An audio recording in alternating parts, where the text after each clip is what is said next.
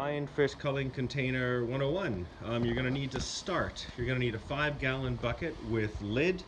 Um, I got that from Masters, but you can get them at Gorham's and the paint company as well. You're gonna need some zip ties. I happen to get these from Masters. You're gonna need a funnel of some sort. This one's already made up. It's a Zookeeper funnel. I got it from Making Waves, around six bucks, I think. And that's what you're gonna need to start. Okay, tools you're gonna need to start. You're gonna need a pen, you're gonna need an X-Acto knife, you're gonna need scissors, you're gonna need a drill with a medium-sized drill bit, I don't know what size that is, and eventually you're gonna need a way to pump up uh, the tire, but we'll get to that later. Take your Zookeeper funnel, put it on top of the lid carefully, and you're gonna draw a circle around it. Circle drawn, and you noticed I made some little marks where the uh, holes in the funnel are that will line up to the holes you're gonna drill in the lid. So take that off and that's kind of what you end up with. Then you're gonna take your X-Acto knife and you're gonna cut around the red line carefully as not to cut anything you want to use later off. Okay, once you've done that, a little bit is just gonna pop out. And now you don't need that anymore and there's the hole ready for your funnel. Now you're gonna drill some holes in the top where you marked.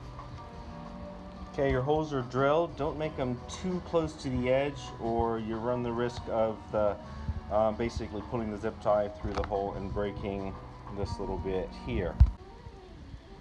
Okay, thread your um, zip ties through the lid. I do it from the back so that when you zip tie them shut, you don't have any stuff sitting on the top. It's gonna look pretty colorful. The other thing to do around this time um, is to remove this little bit here. Um, this will allow you to get the lid on and off a lot easier. It just breaks off. So it just breaks off like that and just pull it off and throw that thing away as well. Okay, put your funnel underneath the lid.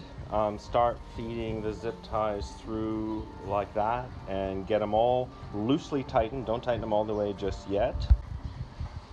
All right, you now got your zip ties attached to your funnel. Um, it's kind of loosely on there.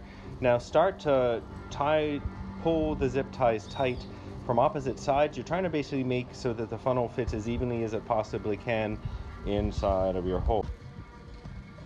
All right, you now got that good and tight. Um, all zip tied in, ready to go. Now just take your scissors and cut all these things off. And the next thing you want to do is you want to drill some holes in the bottom of the bucket to let the water drain out. Um, you don't want to make too big of holes. You don't want to make them too close together.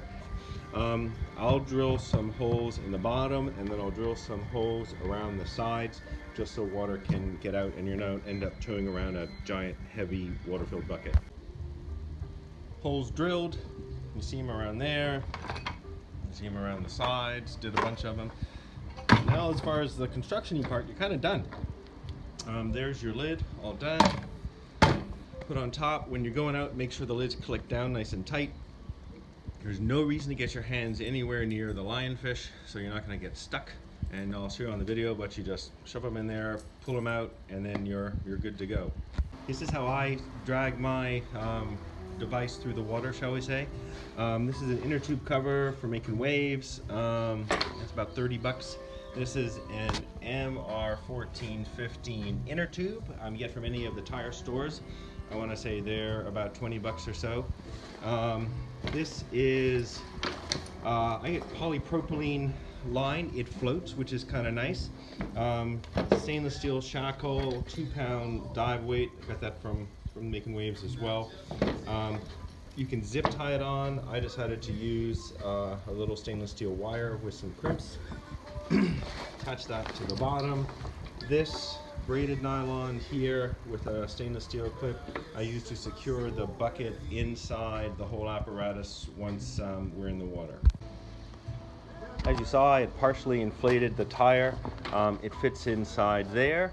And then you're going out, you'll stick your bucket in there, you'll click that on there, and then essentially you're ready to go out lionfishing. Um, I will carry that in my hand. The whole unravel the polypro, the line will go behind me. And, and that's how we collect the lionfish that we catch when we're out free diving. Happy diving.